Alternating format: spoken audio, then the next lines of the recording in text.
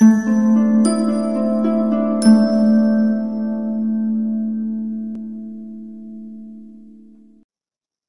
everyone and welcome to another video by BioTeach, this time a video focusing on Required Practical 3 on the A-Level Biology course, as well as the BTEC Applied Science Units 3, 5 and 6.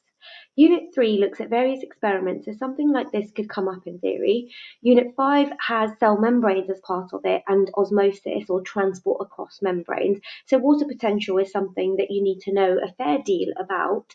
And finally, Unit 6, which is the investigative project where you might need to research water potential of tissues. So this experiment is looking at how we can determine the water potential of potato tuber cells. You'll prepare and use various dilutions of sucrose solutions. Some method sheets look at using sodium chloride solution or salt solution, but for years I've used sucrose with really good results. We use potato because they're really easy and cheap to obtain, and we can also cut and weigh them very easily. They also have a fair amount of water in their cells without being overly soggy, so to speak, and so we can carry out this experiment with a fair bit of ease. This experiment can be changed to allow more freedom to select variables. So for example, I use sucrose, but you could use salt solutions. The students or teachers may look at various sizes of potato chips, assess how long to soak them in solution, things like that. Okay, so let's get on to the method. The first thing that you need to do is label six boiling tubes 0.0, 0.2, 0.4, 0.6, 0.8 and 1.0. These numbers and labels represent the respective concentrations of sucrose you will be adding to these tubes. In those tubes you will make 20 centimetre cubed volume of sucrose solution. You will already have a beaker of 1.0 molar concentration of sucrose, so you can use that to make your various dilutions. We don't actually use a serial dilution in this method because the concentrations are so close together, so you will literally just have to work out the amounts of water to put into each of those tubes and the amount of sucrose solution to top it up with, or the other way around, whichever way you're working.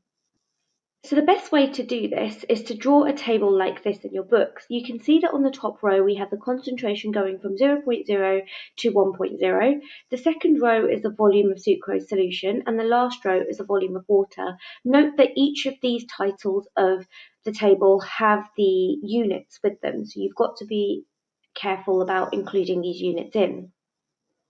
So it's really easy to know how much to put in the first and the last tubes.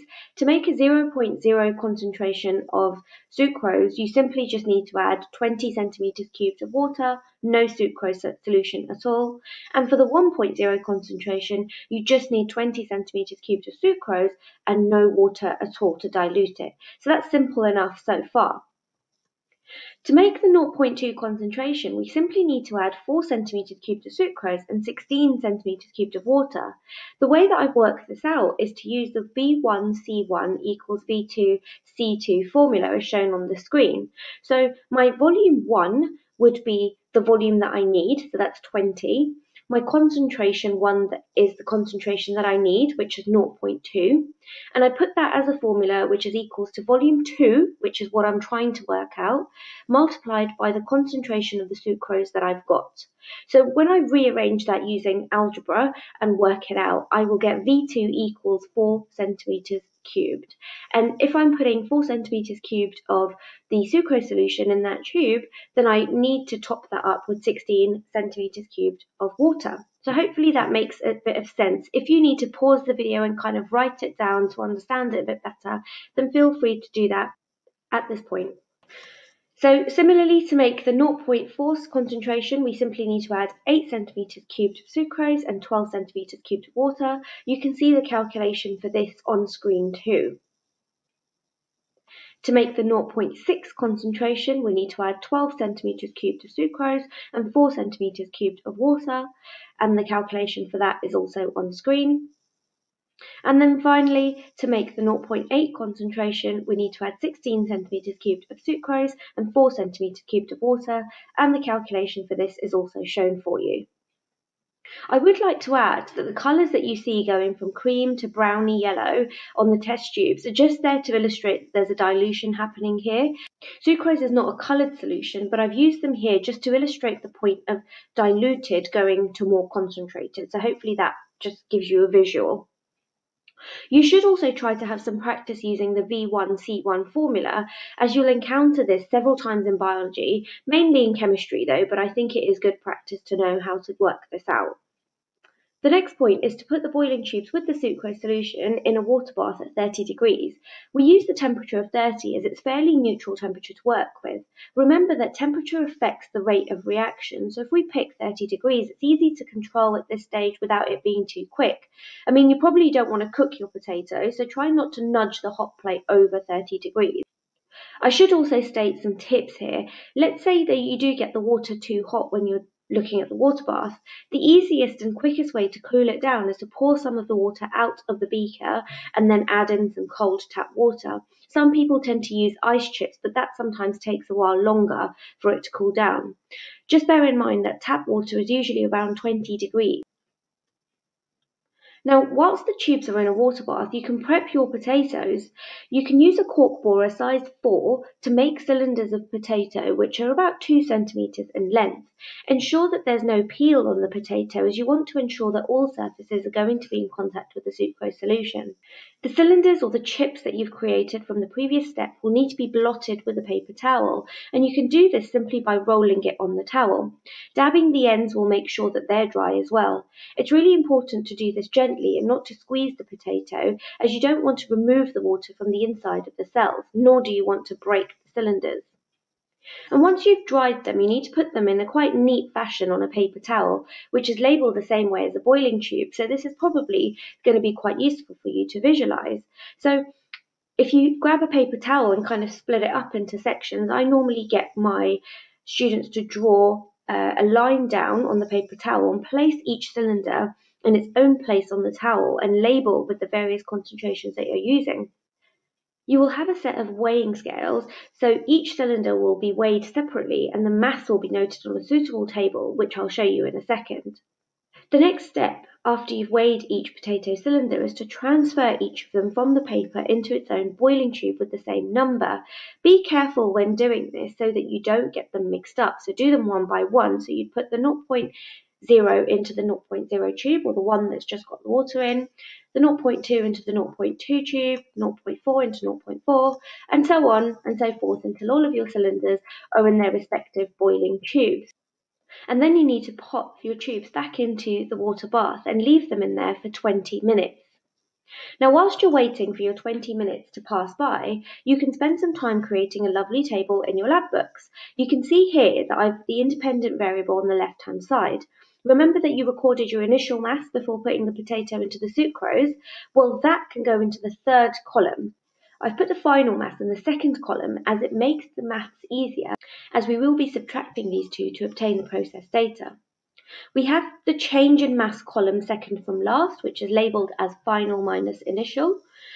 And note that the last column is the percentage change in mass. Also note that all of these columns have the units in place, so be careful about this because if you don't have the units in place, you could lose marks in your lab book or the exam. So once the 20 minutes have passed, you have to remove the cylinders from the boiling tubes and ensure they go back on your labelled paper towel in the correct box. So the one from the 0.0 will go on the 0.0 slot on the paper towel and so on. The cylinders will need to be blotted dry and not squeezed and then they'll all need to be reweighed separately. The final mass for each cylinder can be recorded on the table that you've drawn in your lab book, and we can plot a graph from the processed results. So let's just have a look at the table in a bit more detail. Here, I've got some example data which might help you if you either didn't do this experiment or you somehow messed up the experiment. Feel free to pause the video and write these values down so you can use them for your own revision. Now in this table, we have the initial mass and the final mass. We can see that all of the cylinders are not identical in mass to begin with, despite being the same size in length and diameter. This is because different parts of the potato will have different contents of water and starch, so each cylinder was never going to be the same. Because you don't have the same starting mass, you have to process this data to calculate a percentage change in mass, so we can actually compare each cylinder with the other in terms of concentration of sucrose that they were immersed in and in terms of the final mass. So the first thing we need to do is calculate the difference between the final and the initial. And we do this by simple subtraction. You can see how it helps to have the final before the initial column so that you can actually work out the maths easily. So I've got the values here. For the first one, we've got a difference of 0.27 grams. The second one, I've got a difference of 0.06.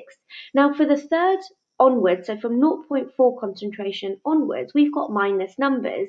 And if you look at the figures, we can see that in these cylinders, when they were in higher concentrations of sucrose, actually they lost mass. So in what we're looking for in terms of the science is that water has left the cylinder and that's why they've lost mass. So these minus numbers are there because the mass has been lost. So don't be daunted by the minus numbers. I usually ask my students why the final mass was lower and they're quick to add that water has left the potato cells by osmosis. Some students are a bit averse to minus numbers and when they appear they think they've made a mistake in their calculations, but worry not. If you follow this particular method, you'll be fine with the calculations.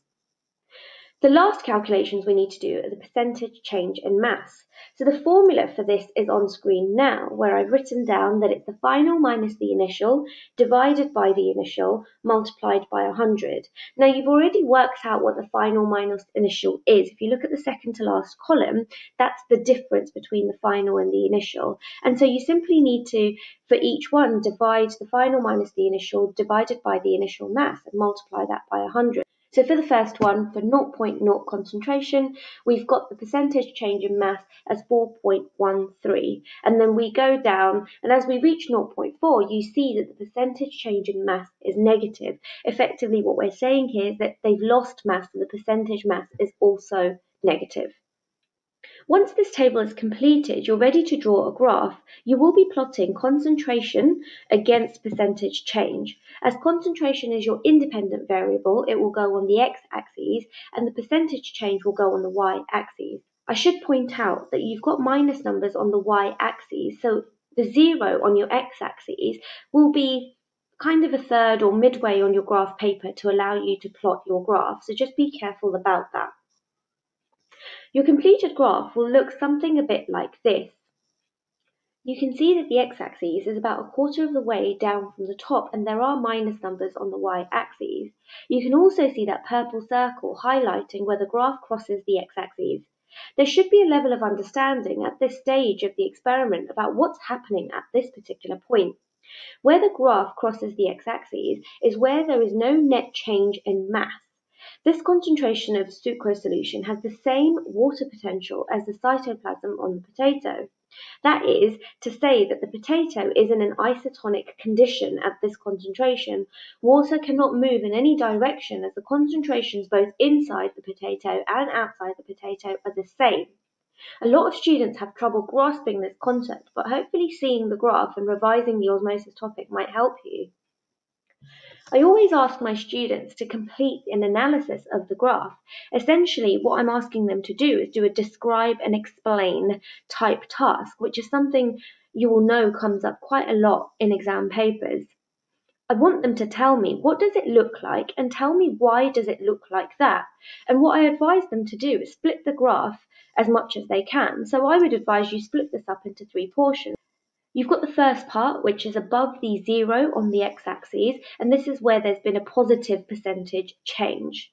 You've got the second part, which I've just talked about, which is part B, where the graph crosses the x-axis. And then you've got the third part, where there is a negative change or negative percentage change in mass. This allows you to understand which bits to talk about so that you don't waffle on for ages and also so that you don't miss the key parts. On the right, you can see the bank of keywords that I've been looking for in their analysis in their lab books. So if we look at part A, I would expect students to talk about how the greatest mass is gained at 0.0 concentration or water only. And I want them to say why this has happened in terms of water potential and the type of solution that the cylinder was in. So I'd be looking for them to talk about whether it was hypertonic or hypotonic. For part B, I already mentioned in the previous part of the video where I said it's isotonic. So here I'd want them to talk about how there's no net movement of water. And for part C, I'd be looking for a mention of a loss of mass and therefore water from the potato cells has left. And an explanation in terms of water potential and the type of solution. So I hope that makes sense, guys. I really hope that that was useful for you and easy to follow and to watch. I know that lots of you are enjoying these videos, particularly about practical. So thank you so much for your comments and your feedback and your likes and the messages that you send me on Instagram. Please make sure that you leave me any comments or any feedback that you've got or any questions that you might have underneath this video. Thanks so much for watching. Bye for now.